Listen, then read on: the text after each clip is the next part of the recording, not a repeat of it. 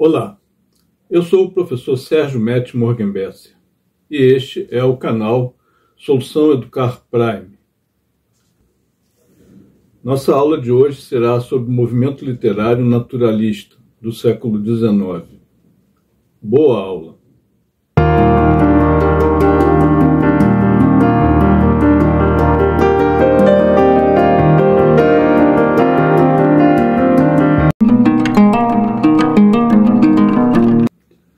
Na segunda metade do século XIX, ocorreu na França o surgimento e ou manifestação de um movimento artístico-cultural que foi denominado de naturalismo, por ter cunho representativo e objetivo no modo como relatava o mundo do jeito como ele realmente é. Propagou pelo mundo afora pensamentos inspirados pelo darwinismo, cientificismo e determinismo, por meio das artes plásticas, do teatro e da literatura, sendo considerado como uma ramificação mais radical do realismo. Fez denúncias sociais e abordou temas delicados para a época, uma época muito conservadora, apontando para a desigualdade e as relações entre o homem e o meio no qual ele estava inserido. O contexto europeu, ao longo do século XIX, passava por transformações políticas, sociais e econômicas, sofridas após a primeira Revolução Industrial e a Revolução Francesa. As condições de trabalho e oposições políticas formaram bases para as teorias de socialista de Karl Marx e Engels. Charles Darwin publicou em 1859 a obra A Origem das Espécies, evidenciando o poder experienciado pela, pela ciência e a racionalidade, e assim fortalecer os pensamentos filosóficos positivistas que influíram na estruturação e expressões dos personagens literários daquela época, envoltos pela Segunda Revolução Industrial e o cientificismo.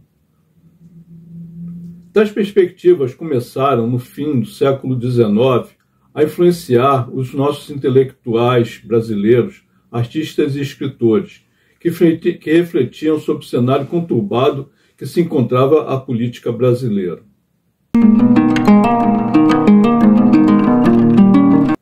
A monarquia em decadência, frente aos movimentos republicanos e abolicionistas, que tinham sido fortalecidos pela Lei Eusébio de Queiroz de 1850, a Lei do Ventre Livre, de 1871, e a Lei dos Sexagenários, de 1885, acabou culminando na abolição da escravatura, em 13 de maio de 1888, que levou ao fim inevitável da monarquia, com a proclamação da República em 15 de novembro de 1889.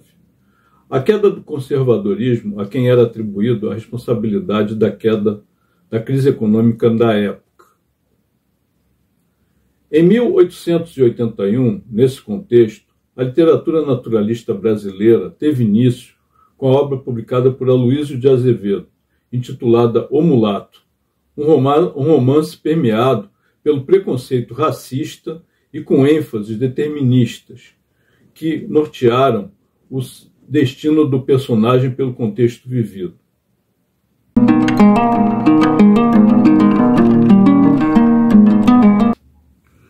Mas se por um lado começavam a surgir temas e personagens considerados polêmicos para a literatura da época, tornando homossexuais, negros e pobres os protagonistas das obras literárias, críticos da atualidade consideram tais obras preconceituosas na forma de abordagem dos assuntos, pois marginaliza os personagens, os inferiorizando e classificando seus comportamentos como se fossem somente da classe operária, além de tratar o homossexualismo e a sensualidade feminina como uma patologia imoral, padrões que desfocam do contexto social construído na atualidade.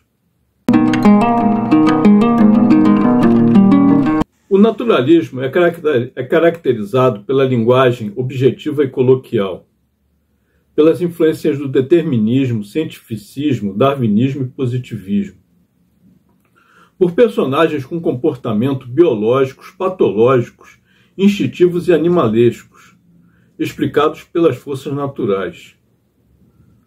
Pela narrativa descritiva, a forma clara, detalhada, impessoal e imparcial da realidade. Pela oposição ao movimento do romantismo, mas também por se representar de forma mais radical quando comparado ao movimento realista. Por abordar temas polêmicos que abrangiam questões sobre sexualidade, erotismo, homossexualismo, adultério, incesto, injustiças sociais, vícios, violências, etc., você tem um, um rompimento com movimentos anteriores. O movimento literário naturalista foi marcado internacionalmente por grandes autores, como o francês Émile Zola, o inglês Thomas Hardy, o norte-americano Stephen Crane, mas também por brasileiros como Júlio Ribeiro, Raul Pompeia e Adolfo Caminha. Sem contar, é claro, a Luísa de Azevedo, que eu citei antes. As principais obras naturalistas que se destacaram na literatura brasileira foram do autor Aloysio de Azevedo, os romances O Mulato, publicado em 1881, Casa de Pensão, publicado em 1884, e O Curtiço, publicado em 1890. Do autor Lourenço Ferreira Leal, Um Homem Gasto, publicado em 1885. Do autor Raul Pompeia, o romance O Ateneu, publicado no ano de 1888. Do autor Júlio Ribeiro, A Carne, romance que causou escândalo quando publicado, também no ano de 1888. Da autora Júlia Lopes de Almeida, o romance A Falência, publicado em 1901. E do autor Adolfo Caminha, o romance Bom Criolo, publicado em 1895. Enfim, eles estavam retratando de forma cruel e exata o, o cotidiano do. O autor que mais se destacou no cenário naturalista brasileiro foi Aloysio de Azevedo, precursor deste movimento, e sua obra O Cortiço, que é o maior marco deste estilo literário. Inclusive tem, tem até filme, que é muito interessante, recomendo. Aloysio Tancredo Belo Gonçalves de Azevedo nasceu no estado do Maranhão, mas com 17 anos foi morar no Rio de Janeiro, onde estudou na Academia Imperial de Belas Artes. Na Academia Brasileira de Letras, o escritor fundou a cadeira número 4, mas era também jornalista, desenhista, pintor e um importante abolicionista. Atuando como diplomata, viajou por vários países, falecendo na Argentina aos 55 anos de idade, deixando uma extensa obra literária, com crônicas, contos, críticas, romances, peças teatrais e novelas. Enfim, um grande brasileiro que merece ser, ser lembrado. Concluindo, os movimentos literários realistas e naturalista, estilos de época que surgiram ambos na Europa na segunda metade do século XIX, manifestaram similaridades e diferenças. A postura crítica, sociopolítica, a ausência de idealizações no modo de descrever o cenário cotidiano, a verossimilhança e a linguagem objetivas são exemplos característicos comuns a estes movimentos literários, que mostraram a realidade do modo racional, de modo racional. No entanto, o naturalismo se difere em sua perspectiva determinista pela zoomorfização de seus personagens, abordando os comportamentos considerados patológicos, sem se aprofundar nos aspectos psicológicos, vendo o homem como um ser biológico e deixando de lado o lado sociológico. Isso é uma falha nesse movimento, na minha opinião, né? mas aí cada um tem sua opinião. Portanto, como fruto das relações, como meio onde vive interação com a sua hereditariedade. Eu sou o professor Sérgio, esse é o canal Solução Educar Prime. Se você gostou, deixe seu like e se inscreva no nosso canal. E também recomende para os seus amigos.